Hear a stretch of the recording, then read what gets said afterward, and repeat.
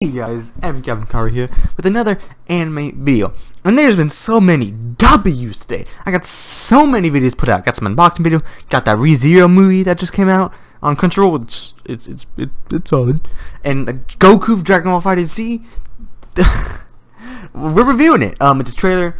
Um I'm I've never been the biggest fan of Dragon Ball FighterZ. As uh, you know, I I enjoy it to an extent. I, I do like it, but I just haven't gotten into the game. Like, say, Mortal Kombat 11, I find much more fun, entertaining than FighterZ. But maybe that's because FighterZ is so incredibly fast-paced. But, who knows. Anyway, let's get right into this trailer. Whew. GameSpot trailers. Okay. Okay.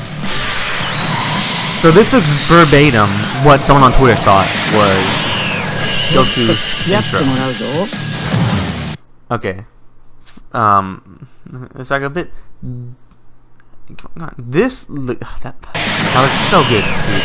That looks so solid. Zaka, um, Zawa, brilliant voice actor. So it seems he dodges a lot. I feel like that's one of his main mechanics. Okay, so he has a counter mechanic. Um, it could be like Hit's mechanic. Um, from what I from what I look, um, because I played Hit, he was one of my mains. That's fine. Okay, so uh, yeah, he's doing a bunch of cool moves. Nothing crazy yet. Okay. Uh, let's back up a tiny bit. Cause yeah, right there, this knee to the stomach, that's right before he launched the Kamehameha when he first ran out of Ultra Instinct sign. So I actually really do like that. And then of course I know that the air fist. Yeah, more dodges though. Okay, now, if you want my opinion, right, real quick, check a bit. This dodge does not lead into this tech. You have to do something else. So I think they just edited the footage so carefully that it looks to be that. Now that's, of course, that's really good. And I guess here's the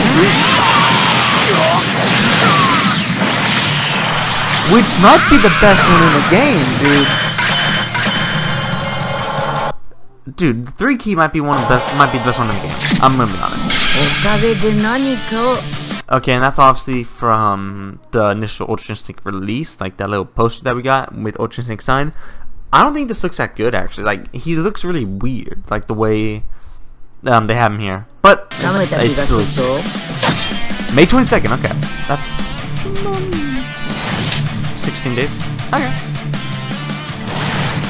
Yeah, we already got Kefla. Kefla's great. They have a dramatic finish. I can't wait to see that. Two day early access. That was good, dude. I mean, I'm excited. Uh, there's there's not much for me to talk about. It's it looks great, and I'm I might play might stream a little bit, but nothing too crazy because I'm playing Call of Duty, Black Ops 3. Oh yeah, I uh, hope you guys enjoyed. Don't forget to like, comment, subscribe, and I'll see you in the next one. Peace.